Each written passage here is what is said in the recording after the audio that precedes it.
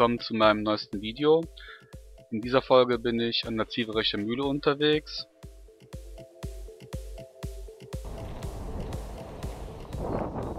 An den Windgeräuschen kann man schon gut hören, wie stürmisch es an diesem Tag war.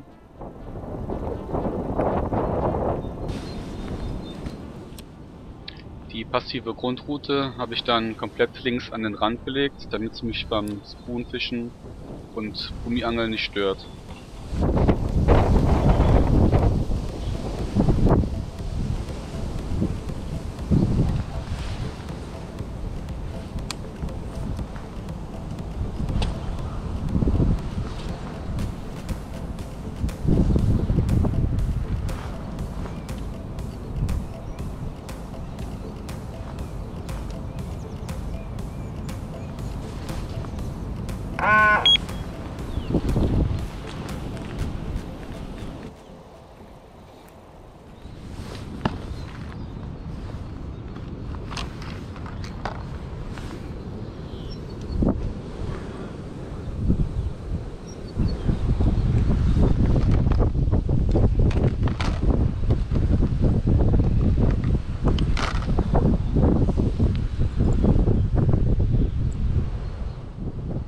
Beginn begann ich mit einem relativ grellen Spoon in der Farbe orange-gelb.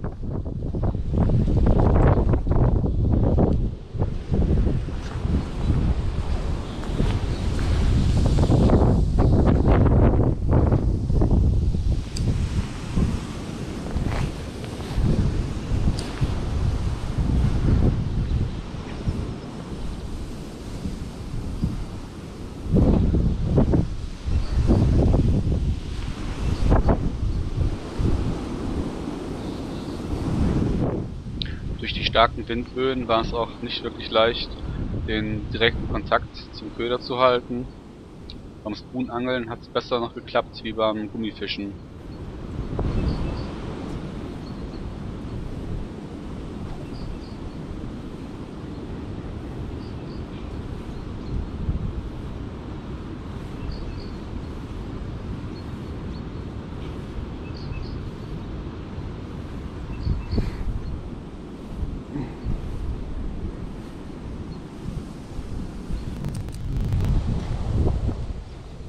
Zu Beginn habe ich dann wirklich stark durchgetestet, verschiedene Spoons, verschiedene Gummis, bis ich dann nach und nach die richtige Taktik rausgefunden habe.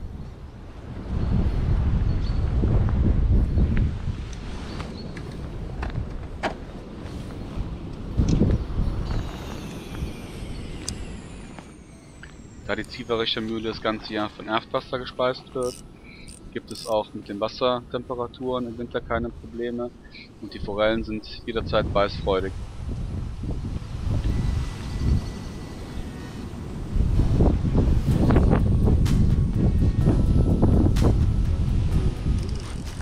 Und der erste Biss. Leider hat die Forelle nur ganz spitz gepackt und schlitzte dann wieder aus. Dies sollte an diesem Tag einige Male passieren.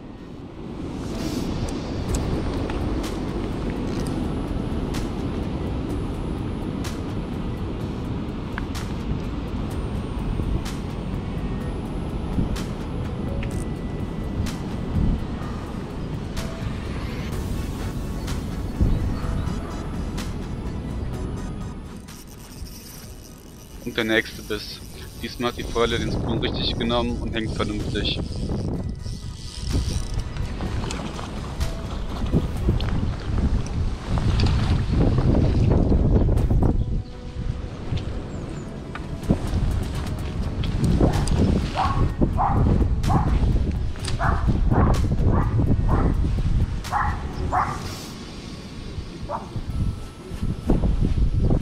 Kein Problem, war zu weit rechts.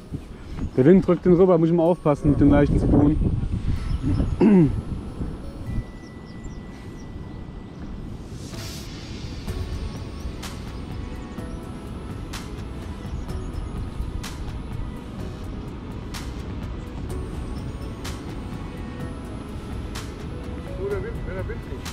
Ja, ohne Wind wäre klasse heute, ne? Ja.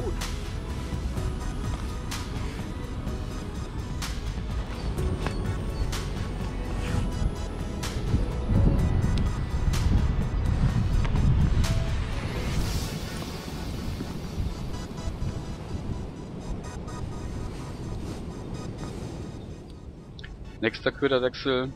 Diesmal habe ich einen Spoon von Kevin Eilkamp von Customized Fishing Gears drauf gemacht.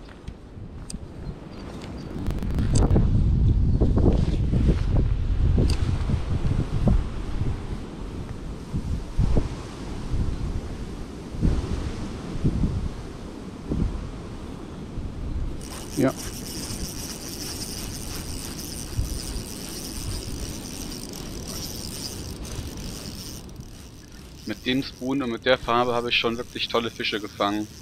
Der läuft einfach wirklich mega.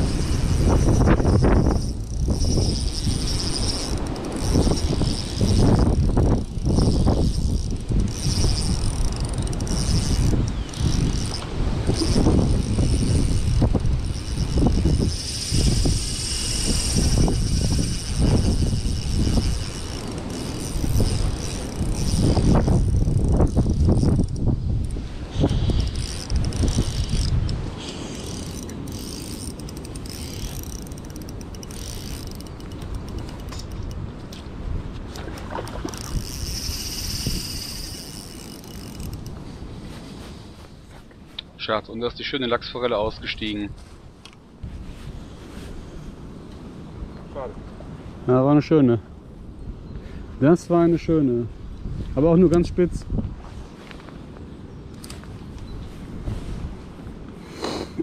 Ja,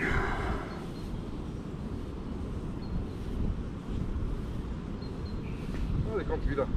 Ich denke auch. Ich hätte den Haken ganz vorne gehabt, kein Problem. Wieder sagen, die Fische, die gefangen sind oder wieder abgehauen sind, kommen nicht mehr. Ja, ist Blödsinn. Ist aggressiv, die kommen wieder.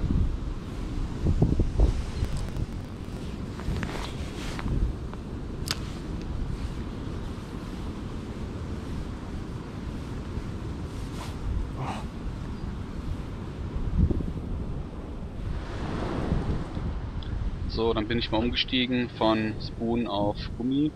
In dem Fall auf den Buffworm, den rosa, 65 mm.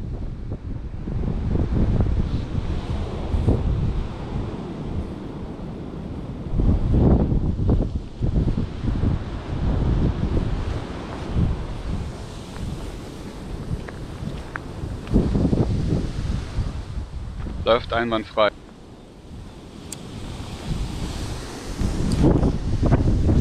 Oh, warte mal. Das, war gerade nix. Wo ist er hingeflogen? Wo ist er hingeflogen? Da. Der ist zu leicht.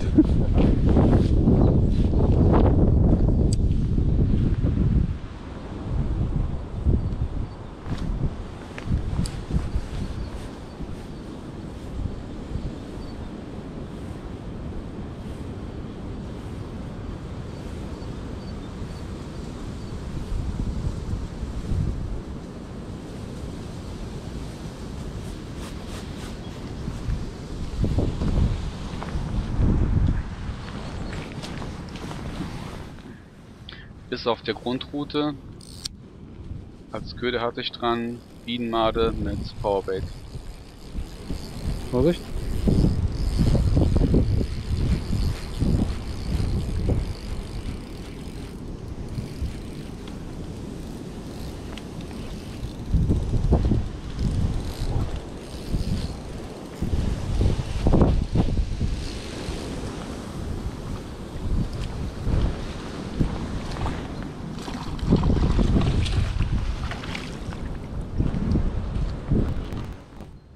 Da mir der Wachform ein bisschen zu leicht war, vom Werfen her gegen den Wind, habe ich dann wieder auf den Mirak 70 gewechselt, in der Optik schwarz-weiß.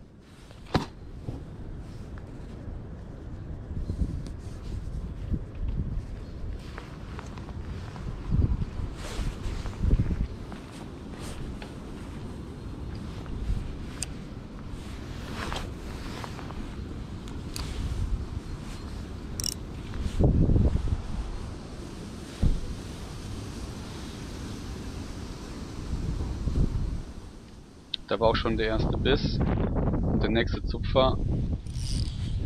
Aber leider aus dem Maul gezogen.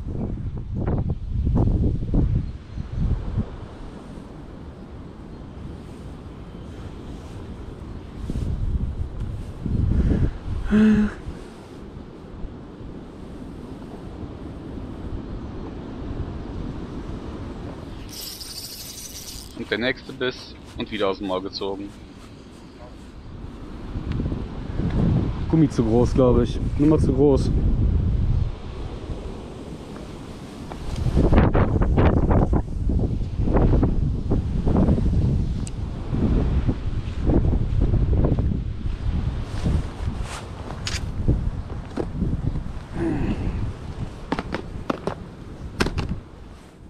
Gesagt, getan.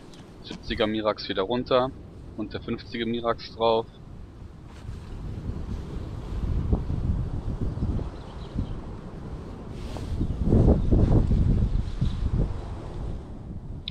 Diesmal in der Farbe Schwarz-Gold.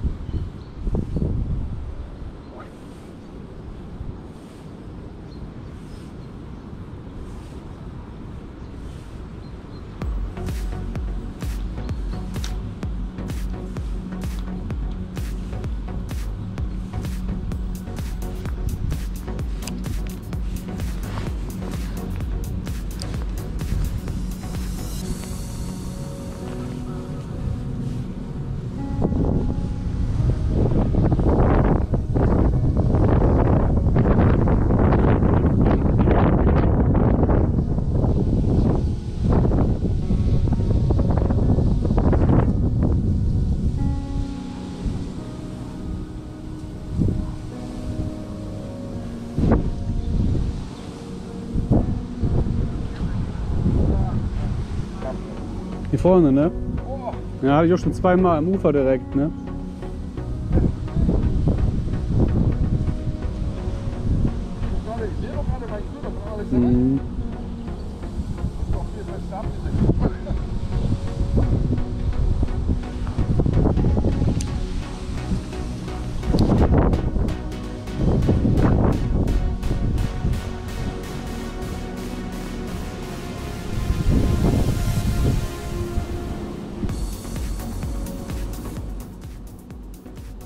Der nächste Biss.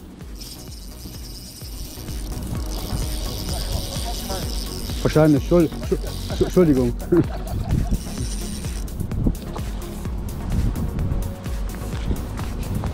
Kleinen Gummis nehmen sie besser, die 50er. Die andere war zu groß eben.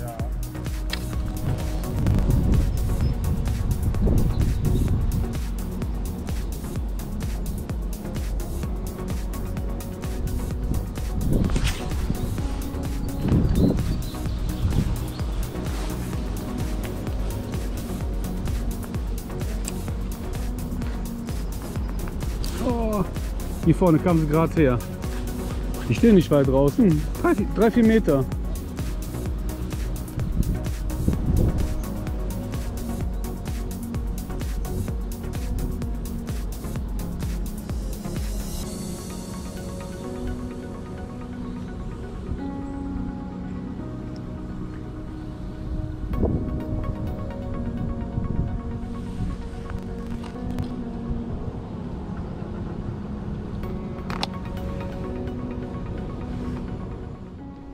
Da der Wind zwischendurch ein bisschen nachgelassen hat, probiert sich doch wieder den Buff-Form, weil ich damit in letzter Zeit wirklich gute Fänge erzielt habe und gerade mit dem Schwarz-Orange, der ist echt eine Macht.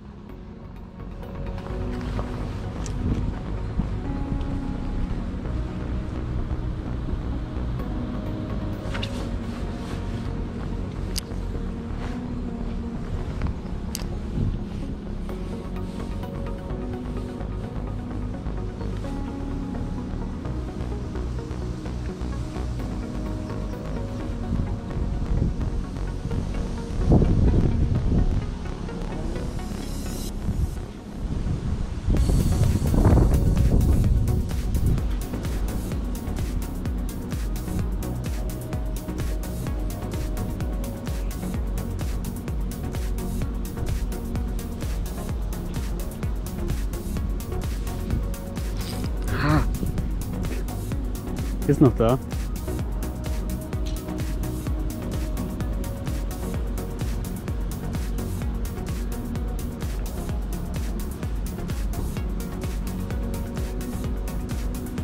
Nee, Wird mir runtergezogen. Kurz angepackt und wieder losgelassen. Das Spiel kennen wir doch schon.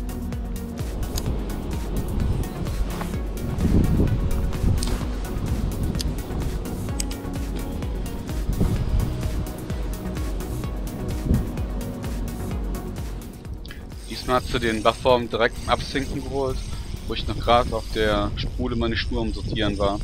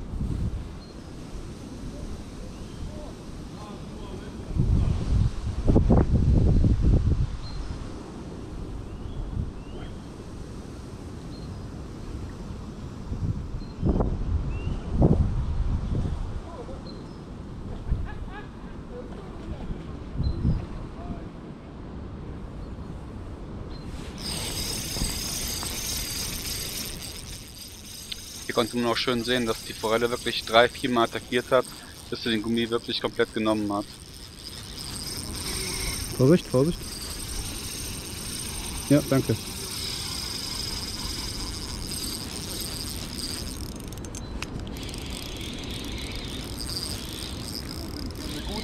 Ne, eine kleine. Nur der, der Haken sitzt ganz vorne.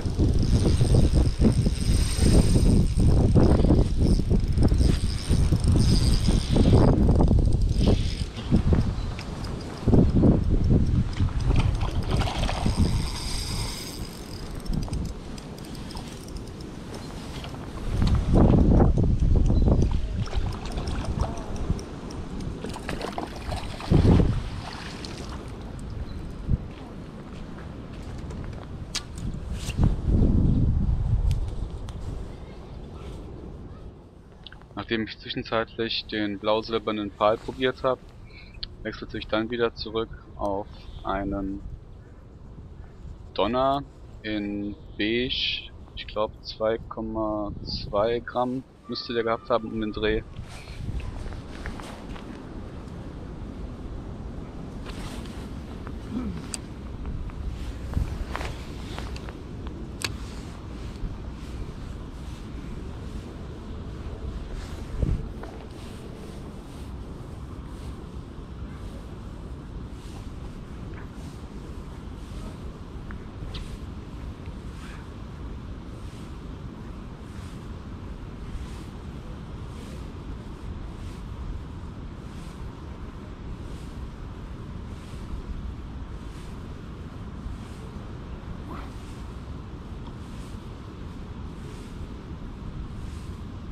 Einmal Kontakt. Weg. Einmal tup und weg.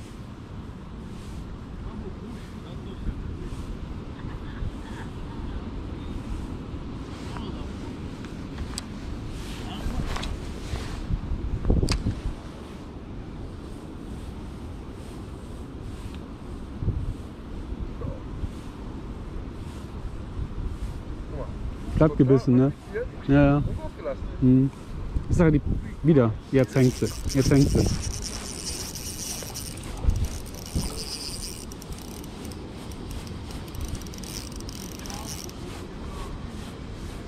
Und weg. ich krieg zu viel, ehrlich, du. Die packen so spitz. Ja, die packen dann elastisch hoch, aber weg sind sie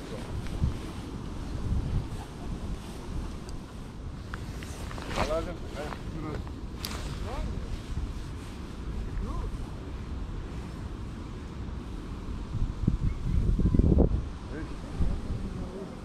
Ah, hier, Micha, was? Mach das nur mal sauber.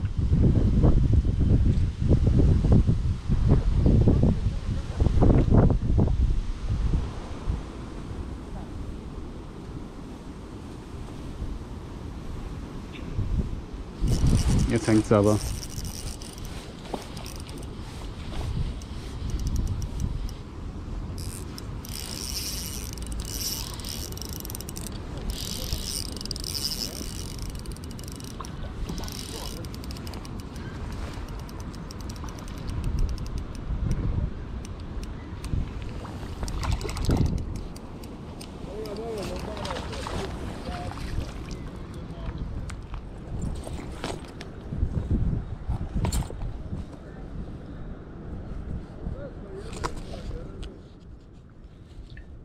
Jahr habe ich mir noch ein paar X-Lur besorgt. In dem Fall verwende ich jetzt den orange-silbernen. Die Köder haben einen riesen Vorteil, die können bei extrem langsamer Führung sehr sehr schnell um die eigene Achse rotieren, beziehungsweise Flanken. Rotieren ist nicht richtig, sondern die Flanken extrem schnell.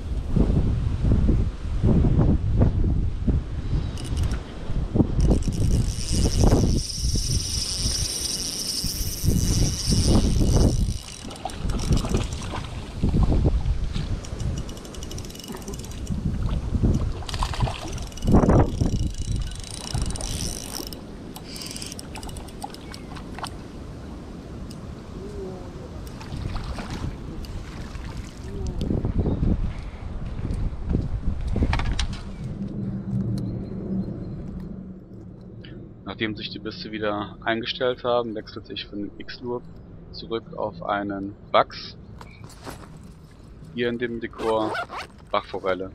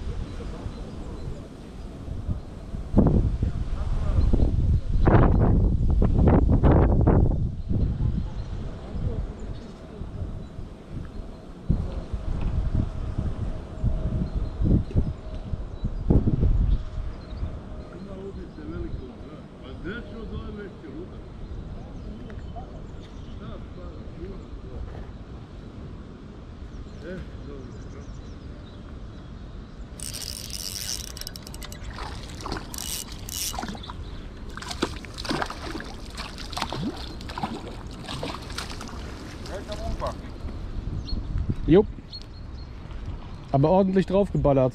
Volle Granate. Die wollte den haben.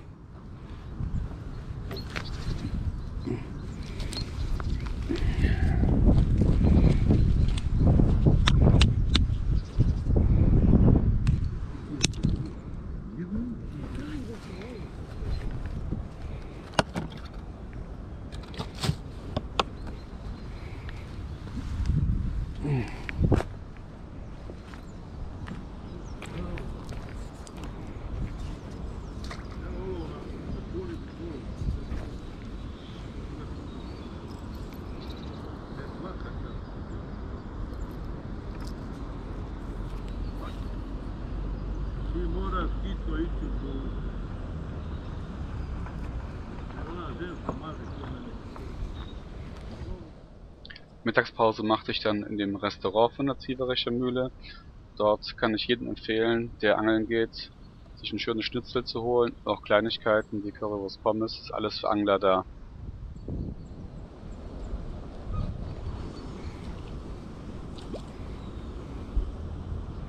Bis. Tut mir jetzt auch leid. Nur auf Ansage.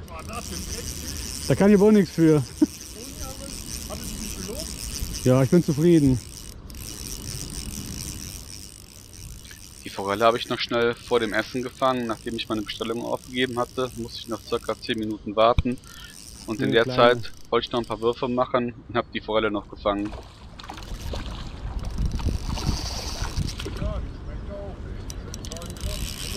Sind schön.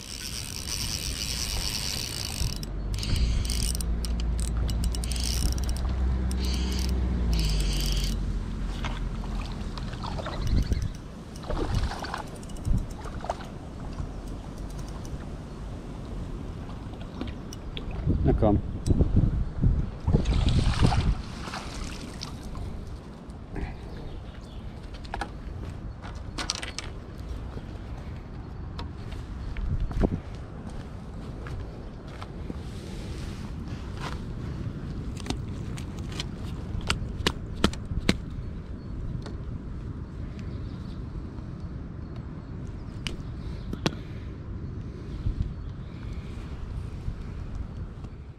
Hier kann man schön sehen, wieder ein Spoon von Kevin Eikamp aus dem Haus Customized Fishing Gears.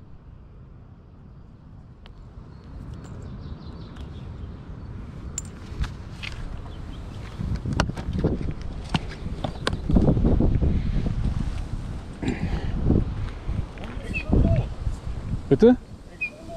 Nee, Kamera.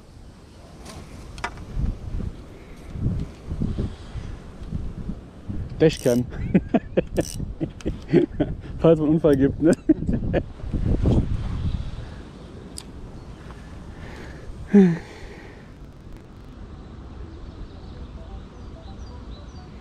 Hat zumindest der Wind ein bisschen nachgelassen. Aber da kommt ein Wild, kommt ein Wild. Ja. Heute Morgen, wie es noch anfing zu regnen, um 5 Uhr dachte ich, na super, das wird ein geiler Tag. Regen, Sturm.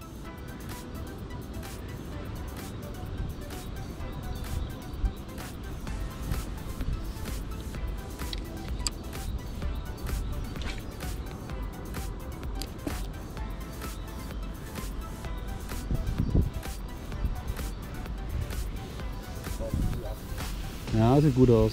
Ja, Lachsforelle. Ne, kleine. Schau, die zog so energisch, ne?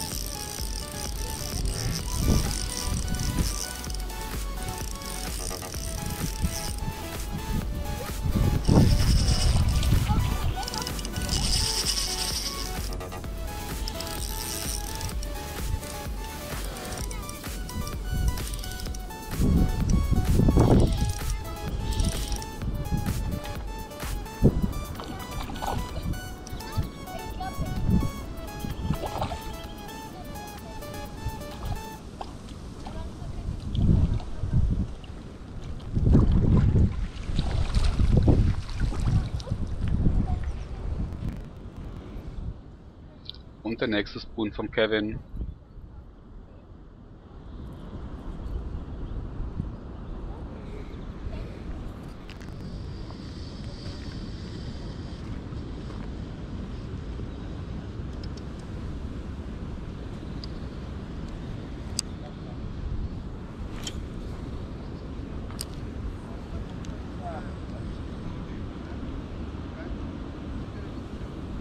Jetzt geht's.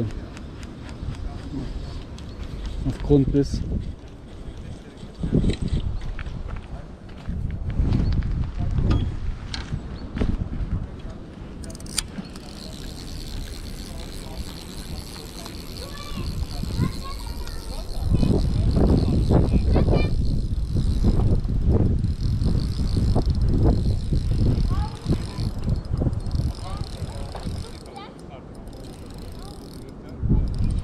Kleine.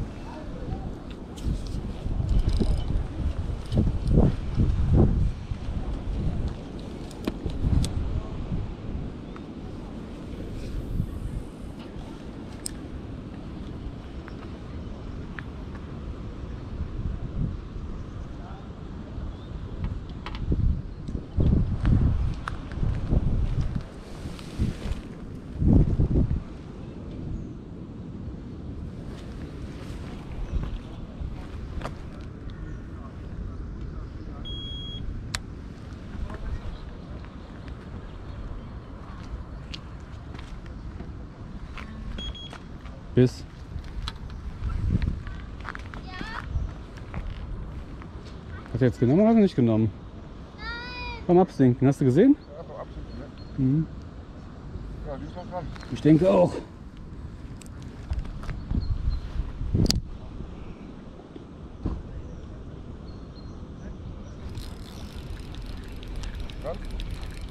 Ja. Du bist vor die Füße geschwommen. Hast du gesehen?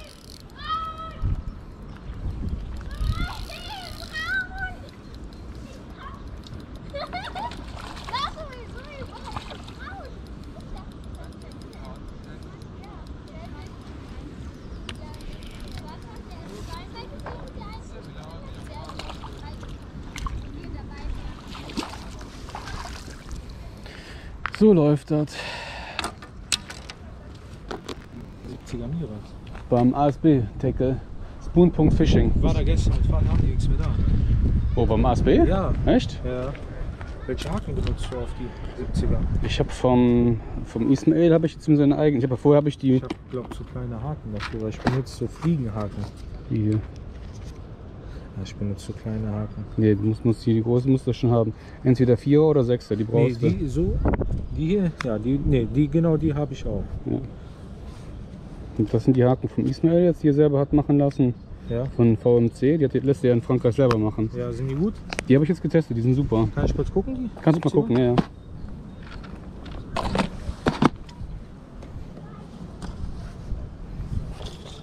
Die sehen super aus, ne? Super fangen, hier sind die schwarz-orange, die sind Ja? super. Mhm. Fangen die gut? Schwarz-orange ist wirklich gut, ja. Die sind echt gut. Willst du mir den verkaufen? Nimm einen mit, komm, Ja? ist gut. Ja, nimm einen mit. Einen kannst du haben, kein Problem. Die fahren gut, sagst du? 70er Million? Ja. Ich muss mal gucken. Schon oder? wieder bist? Ich ruf mal an und dann frage ich ihn mal Ja. bei, bei ASB. Ja. Also bist du Nee, nee, der ist nur nachgesagt von der Schnurspannung ein bisschen. Der Bissanzeiger ist sowieso geil, den du hast, ne? Praktisch. Der kleine, ne? Der hier, Ja, ja. der ist von AT und T, das sind die besten. Ja. Ja. Auch auf Karpfen? Ja, ich angel damit auf Karpfen, auf alles, auf Stör. Du hast hier hast du nichts einzustellen. Die sind nur reine, reine Mechanik. Ist die Funkbox besten, ist ne? da hinten. Ja, ja. Du musst nicht 100 Sachen einstellen. Nee. Danke, ne? ja, kein Problem.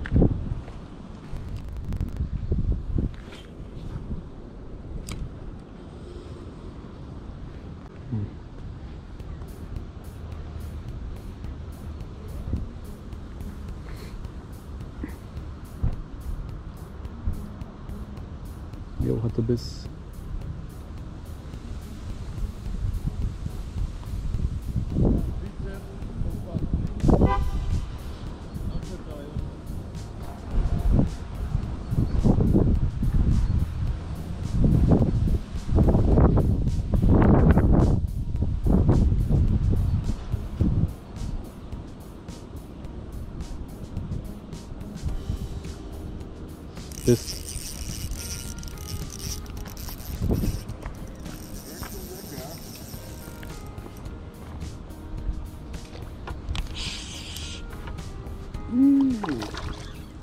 Na komm.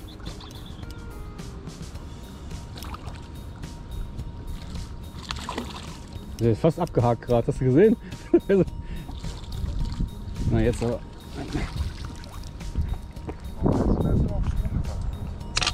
Spoon geht gut heute.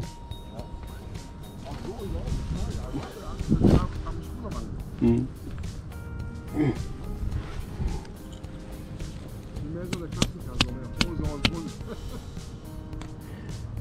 Ich angle aber alles. Ich mache mit Pose. Normalerweise tue ich mit Teig viel mehr schleppen. Heute habe ich noch gar nicht die Schlepproute ausgepackt. Ne? Läuft ja. Warum auch, ne? Kann ich mir den Teig sparen. Und ich kann schon mit Teig, ich sag mal, wirklich gut fischen. Ne? Also hier mit, mit Teig drehen, das habe ich schon vor 30 Jahren gemacht, die Form. Ne? So, und ich hätte keine Chance gegen die. Die hatten schon ihre Routen auf dem Parkplatz fertig gemacht. Bis ich aufgebaut hatte, hatten die schon drei dicke Lachsforellen da liegen. Ne? Und dann kam der Besatz.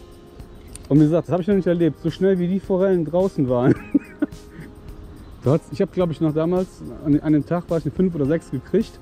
Mit Mühe und Not, weil ich mich echt beeilt habe. Aber die hatten nachher da mit, mit vier oder fünf Mann hatten die da fast 30 Forellen liegen. Lachsforellen, ne?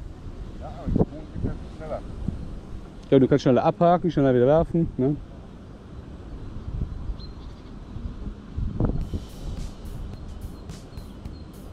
Das war vor zwei Jahren. Da habe ich noch gesagt, mit dem Scheiß fängst du nicht an.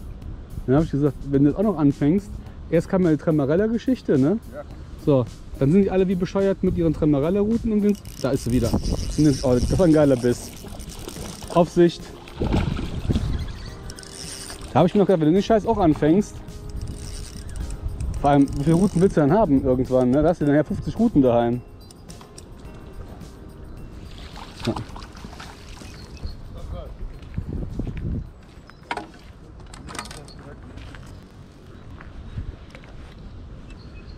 Dann habe ich meine ersten Spoons gekauft, silberne, war so ein Dreier-Set, war das ein ganz billiges. Dann bin ich wieder dahin gefahren. Das war, weiß ich nicht, ich gesagt, zwei Jahre später kannst du sagen. Habe ich mit diesem silbernen Spoon habe ich vier Lachsforellen gefangen zwischen 3 und 5 Kilo. Und da war es passiert, ne? da war es rum. Da war ich angefixt.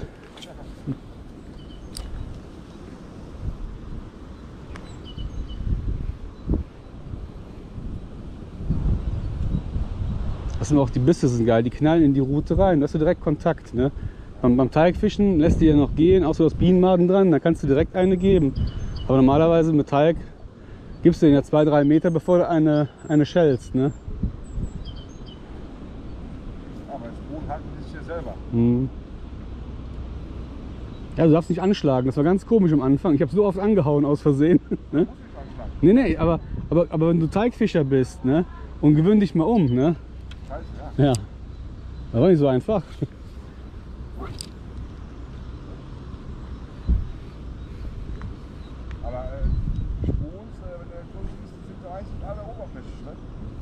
Kommt drauf an. Ich habe auch, also es sind ja gewichtsklassenabhängig. Ich habe welche, die haben bis 6 Gramm. Ne? Und dann kannst du alle Schichten durchfischen. Auch von der Geschwindigkeit. Oder mal absinken lassen, dann trudeln die runter, wieder ankurbeln. Ne?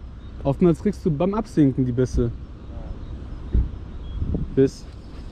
Ja, mein Freund. Da sind wir wieder.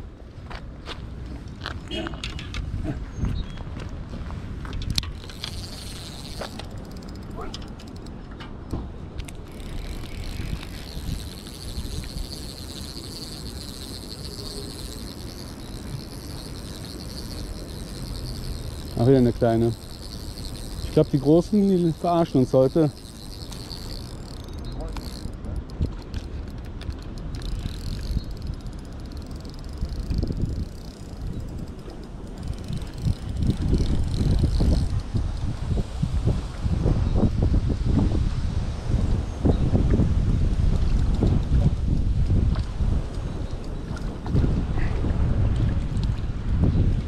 Das Schöne ist, wenn du auf Grund die Bisse hast, die schlucken. Das ist so, ne? Da kannst du die ordentlich ausdrillen.